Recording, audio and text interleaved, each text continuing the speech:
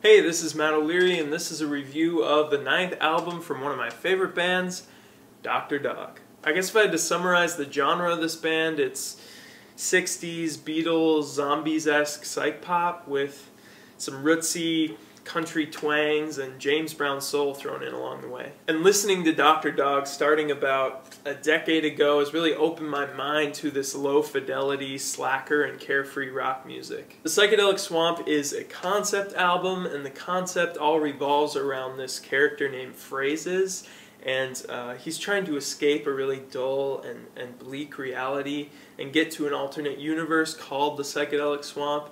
And Dr. Dog is trying, and all the music on this album is received through sort of like radio signals that they're, they're getting from the psychedelic swamp. So this isn't really too complicated of a concept, especially like uh, the Dream Theater album that I just reviewed. And Dr. Dog, for the songs on this album, actually went back and remade or covered some of their earliest recordings way back from, from 2000 or 2001, right before Toothbrush came out, which a lot of people consider their first album.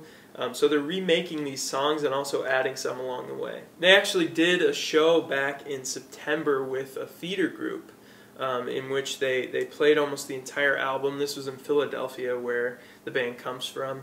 Uh, they played almost the entire album and they kind of created the swamp atmosphere on stage. The album begins on a really low energy and low tempo note with Golden Hind, which starts with this woozy guitar lead and then and then all of a sudden this unfamiliar very johnny cash like voice enters and i actually looked into this and that voice is doug o'donnell who actually played with the band back um, before they really made it. And the sweet finger picking and, and, ocean wave layers during the verses make me feel like this is a more atmospheric approach than uh, previous Dr. Dog, hinting at this kind of psychedelic element. And then after that, we begin with the more typical back and forth of Toby Leaman songs and Scott McMicken songs. This is a really important aspect of any Dr. Dog album experience. The band's sound gets compared to the Beatles a lot, but I think the biggest comparison between those two groups is that there are two songwriters that really contribute a lot to the group and contribute equally.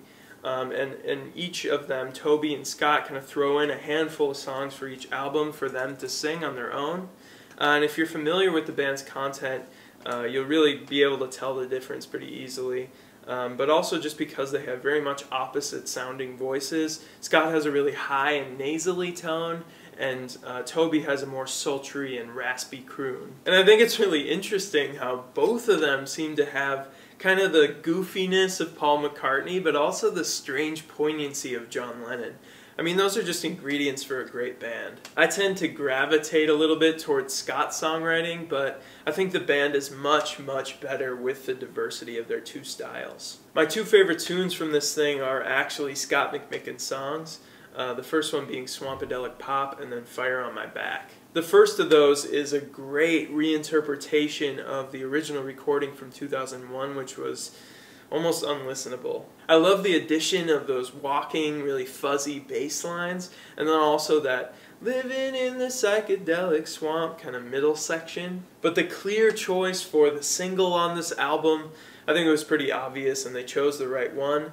Bring My Baby Back. This is just an instant Dr. Dog classic that juxtaposes the robotic and synthetic drum tones and beats with this more country and classic Americana sound. It's just a great song. There are also a good amount of filler songs that are meant to kind of fill out the storyline and also uh, just create that atmosphere, like I said. These are made up of, of repetitive, very holy drug couple sounding jams and then and then kind of snippets of, of radio talk from Swamp Radio, uh, which reminds me a lot of Julian Casablancas's and, and the Voidz' album uh, Tyranny, but maybe not as weird. The last really noteworthy track on this comes on Badvertise, which is a faster, punk-leaning parody of the ridiculous nature of public advertisement.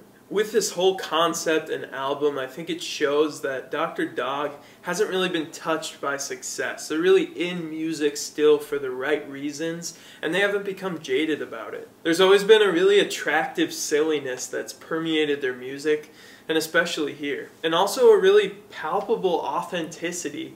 You can tell that these are just a bunch of guys playing music and deriving a primal joy from that. That sounds pretty cliche, but watching them live, you really get the sense that they're there first and foremost to entertain themselves and that the audience is just joining in that process. So this album, I think it's a really solid addition to the Dr. Dog catalog. Um, I also heard that they have another batch of songs recorded that are ready for the next album, so this band just loves being in the studio, I guess, and they built their own studio. Um, that's what the, the album B Room was about. Uh, and, and, I'm just excited to see where they keep going because uh, they just keep pumping out quality. This is an 8 out of 10 for me. Thank you so much for watching. Please like, subscribe to my channel, and comment on what your favorite Dr. Dog album is. I think mine is right around the Shame Shame and, and Fate era. It's kind of weird to say, era. Uh, but anyway, uh, please check out the description box for a link to what I've been listening to in January, the new albums that I've really loved. And that's it. Thanks again. See you later.